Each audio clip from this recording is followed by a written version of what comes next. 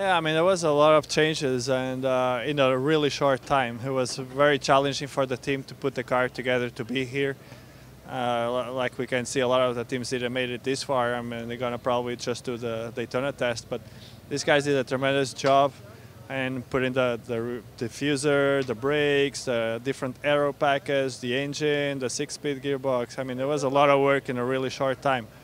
And the car ran really, really good from uh, lap one. Uh, we had minor adjustments to do for the bumps around here at Sebring, but I was really, really pleasantly surprised with how everything uh, went through the first, the first hour of practice.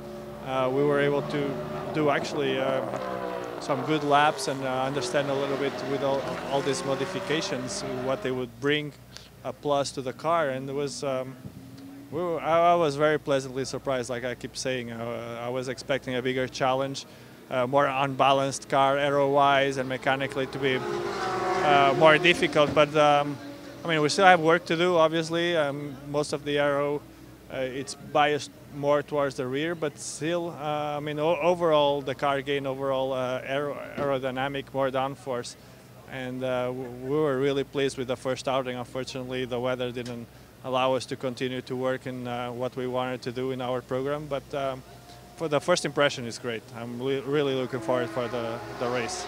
Well, I think it was 98 was the first time I drove a Porsche. And since then, I'd say 95% of all the laps I've done have been in 911s or Porsches.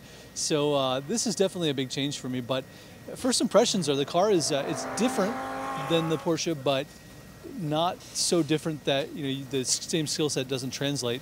Uh, we got a little bit more to learn about what makes the car go fast and I still haven't felt the car when it's set up right and 100%, so I don't know exactly what it's going to want. But we're learning, and the learning curve has been pretty quick today. Well, the team has always been a great group of guys. They've always been 100% no matter what they've been doing. But there's definitely uh, some new excitement that wasn't there before. I mean, these, these guys are getting new toys just like the drivers, so they're learning new things every day about them. And they're definitely up to the challenge. You know, the energy here has been pretty high ever since we unloaded them, and I know they've been working pretty hard before the test, you know, night and day getting these things ready. So uh, they're working hard, but they're loving every minute of it. In all honesty, it was kind of what we uh, expected. Uh, we originally didn't plan to do this test, and uh, with some updates from uh, Honda and HPD, we decided we uh, wanted to maximize our Daytona time. So we knew coming here we were going to have some teething issues. Um, the good thing is we got the car out this afternoon and uh, we got the car, we got some good uh, information we're going to look at overnight. But uh, it was great to be back in the car. It's my, my old baby, this one uh, from Starworks. So uh, great first day. I mean, I'm, I'm happy that I kind of got through the first day and didn't make any mistakes and uh, didn't make anybody regret the decision to have me here. So massive thank you to, uh, to everybody at Patrón ESM for, for having me here. And I look forward to good things. You know, definitely can tell there's a, a good car under me. Uh, great to have my old engineer Steve Chalice back with me. So um, we'll put our heads down over tonight and uh, we'll get a good dinner in us and we'll come back hopefully for a dry Sebring tomorrow.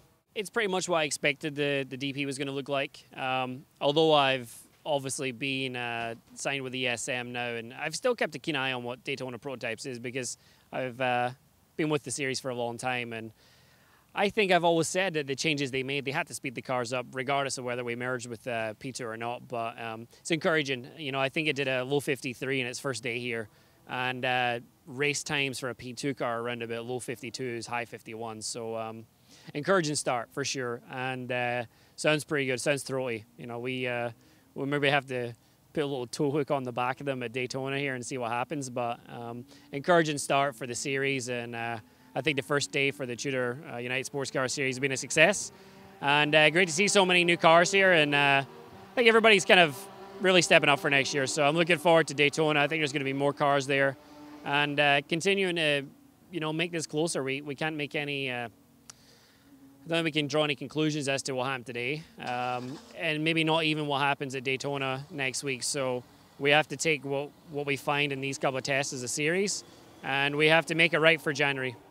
Yeah, it's uh, it's very funny uh, that um, that the car is really different than the LMP car for sure. It's a lot softer and it's a completely different style of driving. I still didn't find exactly how to drive it, but uh, I still have to learn. But uh, it was fun to, this morning because in the quick corner there's no, there is no downforce like on the LMP car, and a little bit scared at the beginning in the first corner and 17.